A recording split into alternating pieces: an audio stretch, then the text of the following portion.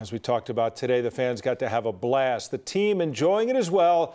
Remember, Nikola Jokic famously said on Monday night after the uh, Game 5 win, he just wanted to go home. But he had a good time today on that fire truck with Jamal Murray, as along with the uh, Larry O'Brien trophy. They also had the Bill Russell MVP trophy and his daughter, Ognjena.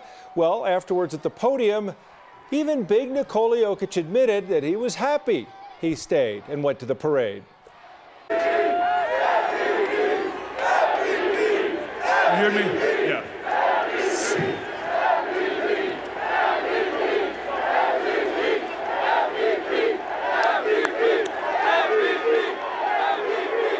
Okay, okay, okay. You know that I, I told that uh, I don't want to stay on parade, but I want to stay on parade. This is the best fucking, This is amazing.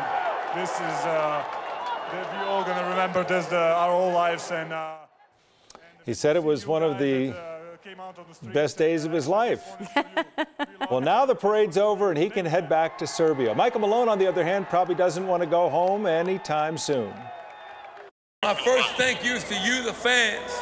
Stand with us. Stand with us. I love you. I appreciate it. We could not have accomplished this without you. You're a part of this. I've dreamed about this day since I got here eight years ago.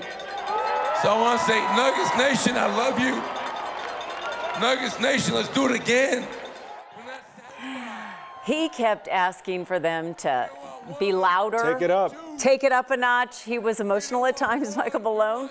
Um, but it was a great time, and he really thanked the crowds for keeping the faith in the team.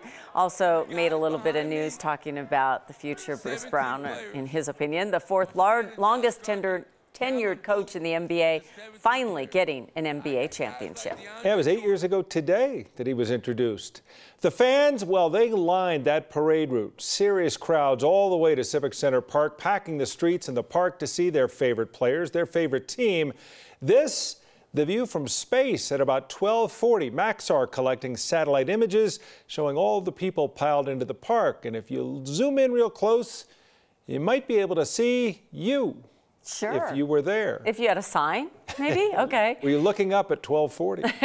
exactly. You didn't know they were watching from space.